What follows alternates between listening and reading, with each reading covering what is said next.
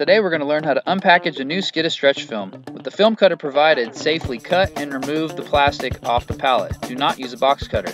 Next, unfold the tabs on the lid and pull the lid off the top. From here you'll safely remove the pieces of tape that are holding on the sidewalls around the skid of stretch film. This will allow you to access all four sides easily. Next, to remove a roll properly, slide both hands under the cardboard to pop out the core plug. Once you have the core plug out, simply remove it from its hole and pull the cardboard back so you have room to lift the roll stretch film straight up.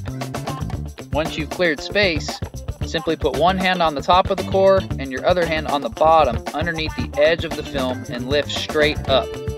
Be careful not to tilt or lean the roll on its side before you lift up. This is the proper way to hold and carry your roll stretch film.